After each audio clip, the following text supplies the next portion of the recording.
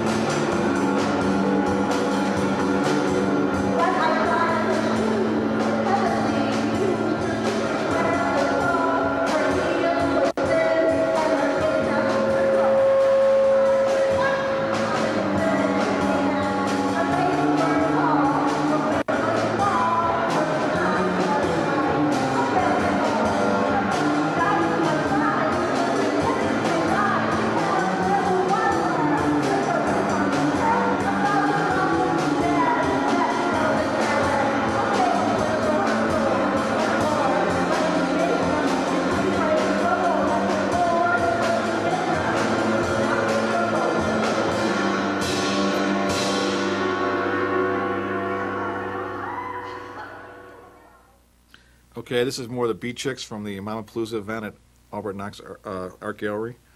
Uh, this next song is um, Bowling, It's Real, and It Makes Me Feel Real. I had a uh, dream one time, some kind of weird bowling dream, I guess, and I woke up and I was this thing was running through my head, that bowling, it's real, and it makes me feel real thing. And I told uh, Paula, the lead singer of the Beat Chicks, about it, and she wrote a song about it. We're going to try to make this like the bowling song for all the, uh, the National Bowling Federation, or whatever the hell it's called. You know, they have those bowling shows on ESPN, etc. We, we were thinking make a video of this and of the, make a video of this bowling song and put it on uh, one of those bowling shows. I think it could be the bowling theme song for America. Because I heard the bowling uh, federation's moving from Wisconsin to Texas. There's a big controversy about it. I, I think we can we can help grease the uh, the transition with this great bowling song.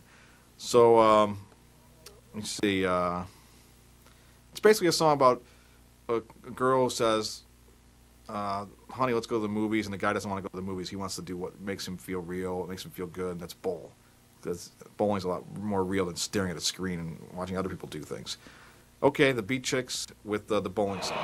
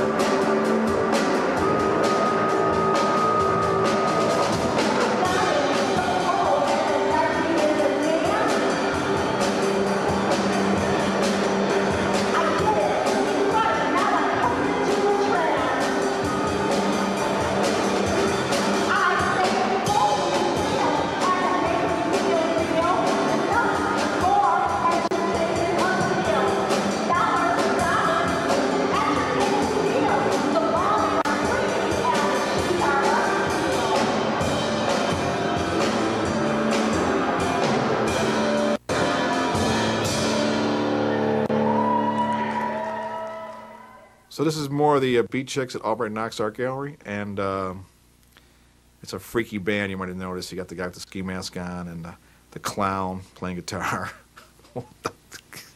are they both mothers? This is the mother event, Mama Palooza. I don't know. They, in a way, they are both mothers. I know that. um, so this song is about how Paula, the lead singer, she doesn't want to do the right thing. She wants to uh, stop being the nice girl. She wants to pick guys up in bars, take them home, steal stuff from them, maybe their car or their, you know, their transistor radio or something. And uh, yeah, I mean, who wants to be the nice girl? This is basically what it's all about. No one wants to be the nice girl. You want to be a beat chick. Okay.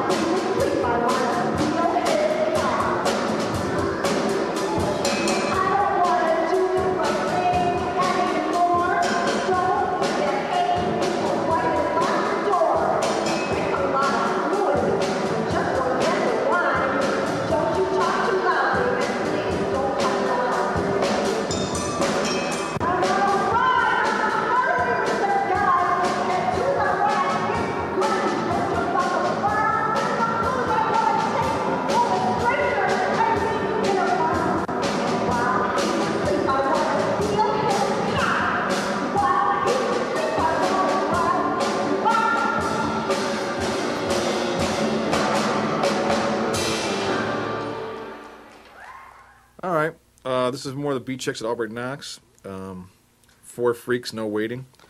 This one is uh, probably my favorite Beat song because it talks about how Paula talks about the song about how she doesn't like life, she doesn't like death, she doesn't like birth, which pretty much covers it all. It's, it's, it's exactly the same way I feel. So uh, I did enjoy pre-birth. I enjoyed the uh, uh, womb. That was a good time. It was so, it was so moist and black.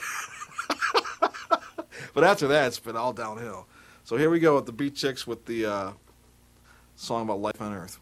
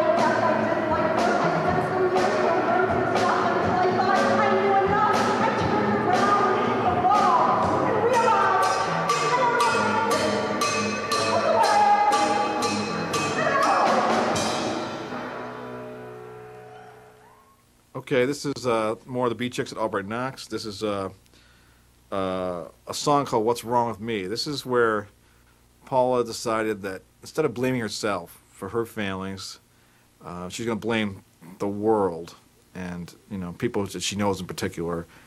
Instead of blaming blaming herself, she blamed them. So she used to think what's wrong with her. Now she thinks what's wrong with you, the viewers. I used to what's wrong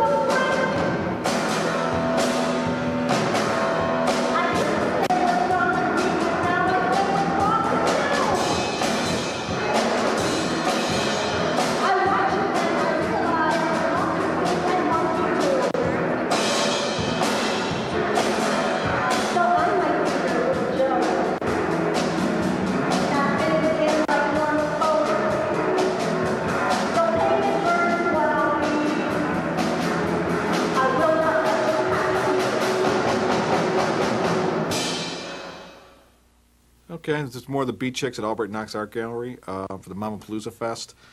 Woody Allen said the heart wants what the heart wants. What he really meant was his penis wanted what his penis wanted.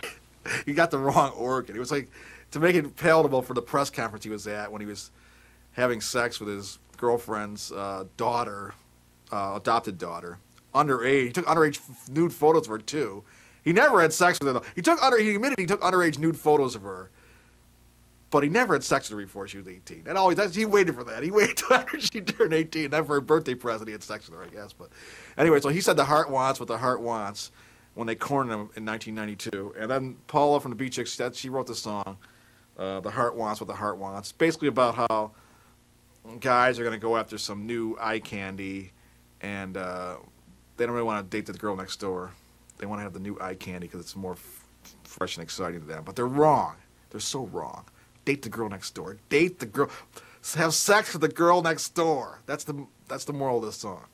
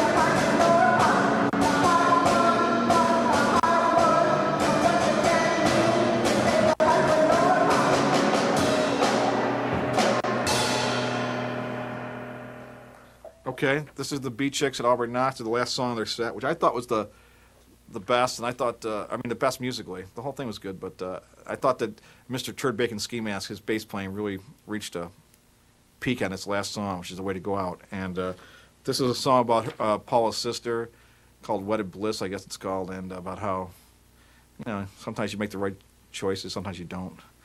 And if that's all there is to Wedded Bliss, then Paula says, you know, the hell with it. All right, so that's it. Thanks for watching.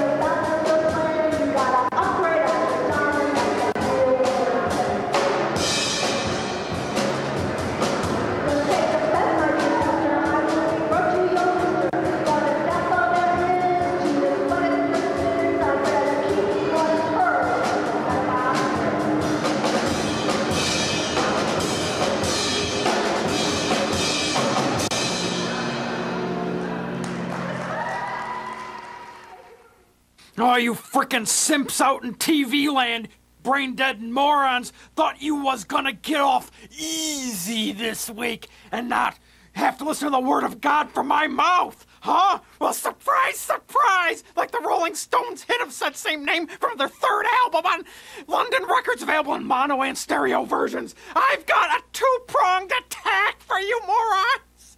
First off, there was the Mother Palooza, and it was in honor of Mother's Day, which is coming up if it ain't today. Ah, there's a difference between a mother and an egg donor, and a father and a sperm donor. You see, I'm Dudley's mother. This is this is my my progeny here. But you out in television land, you might not have a mother and a father. You might have an egg donor and a sperm donor, like I had. So if you don't feel like celebrating, like the annoying Cool and the James Gang song celebration that they play at every stupid wedding that's gonna end up in a divorce every anyway, that that DJ from WJJL with the commercials on the radio always plays, along with We Are Family by Sister Sludge. It's wedding season coming up, and a pox on all your weddings. Everyone who's watching this who gets married, you're gonna get divorced. It's gonna be ugly. It's gonna cost you thousands, and thousands of thousands of dollars that you would have been better off investing in Krugerrands because the gold market's going up because of the gas shortage because President Carter won't do nothing about the hostages in Iran and we got those mile long gas lines at the NSI gas for less at the corner of Ontario and Tonawanda streets. So if you don't feel like celebrating Mother's Day or Father's Day because you only got an egg donor and a sperm donor, but not a mother or a father, because it takes a lot more to be a mother or a father than just donating that part of the genetic information. Don't feel bad. Because you can join me, the ski mask, in not celebrating. Because Hallmark just wants to sell more cards anyway. It's a frickin' corporate holiday, so don't celebrate it. Prong two. When we were getting the equipment out of that Albright Knox Art Gallery, named after the owner of the Buffalo Sabres, Seymour Knox III. Some guy comes out of this thing called the Newman Center. And it's, it's a side street next to the place. And it's it's like named after the really evil character on Seinfeld, but it's run by Catholics because it's like St. John Newman. And some priest type dude comes out and yells at me and tells me I'm gonna get a ticket.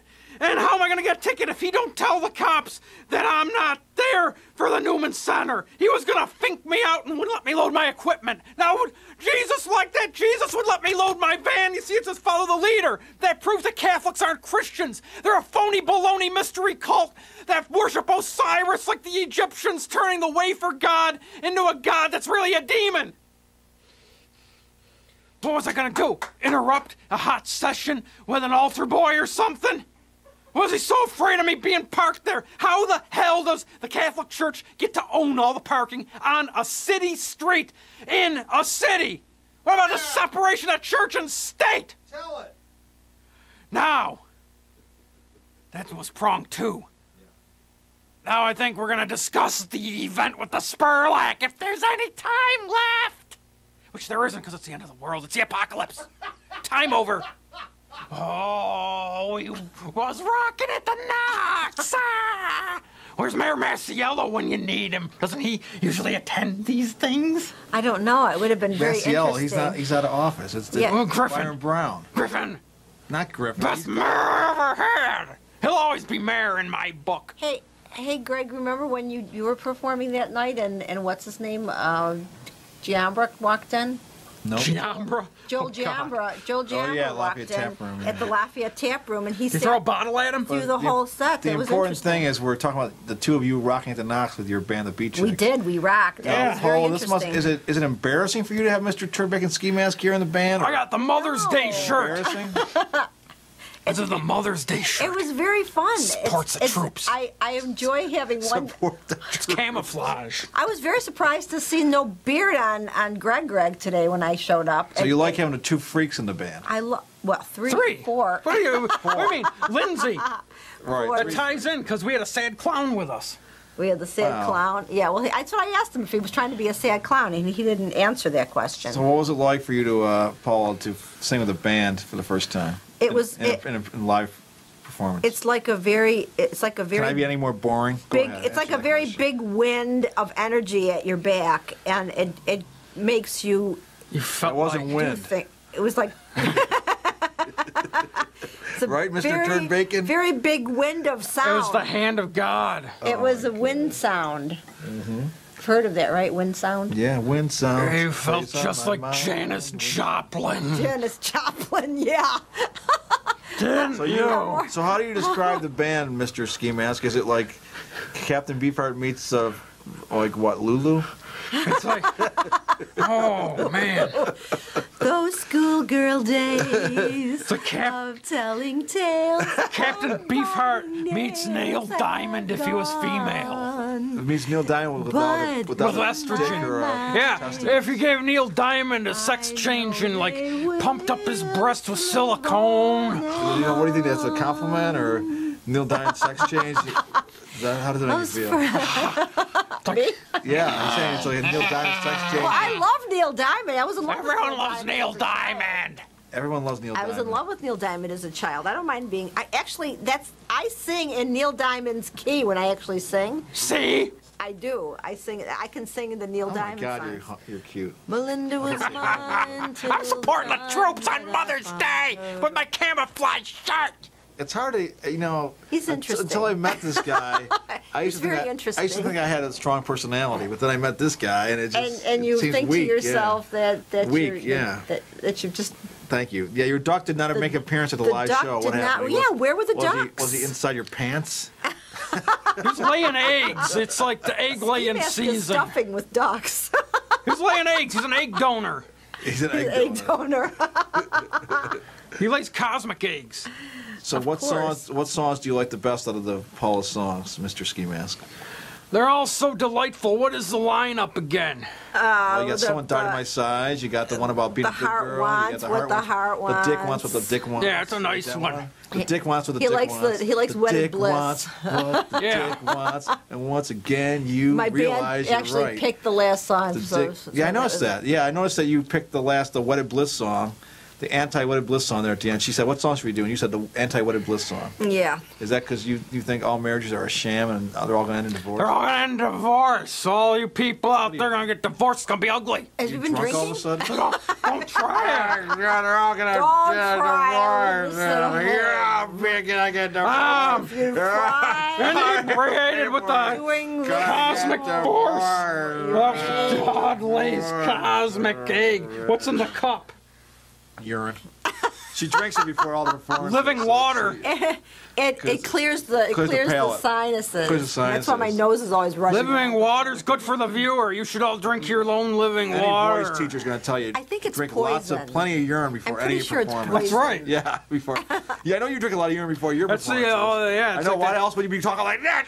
It's that alternative medicine that all the hippies at the health food store engage in. There's books there. I saw them about living water at the health food store. I think that Who's means the most water with sensitive of the three of minerals us? in I it. think I it's don't me. think it means wa- urine. Yeah, it is. Living water's urine. The beat chicks are Are going you to. sure? Because it's full about of that? minerals and vitamins. The beat chicks are. and and and uric Is that acid. it? Are we done yet? Yeah, rabbits eat their own poop. rabbits eat their own crap and then they shit it out a second time. and hence, Is it? uh, Okay, but- clock. Ten, eight, Ten We're what? not. Six. We're not rabbits, though. Five, we're not rabbits, four, Chuck. Three. Neither one of us are rabbits or ducks.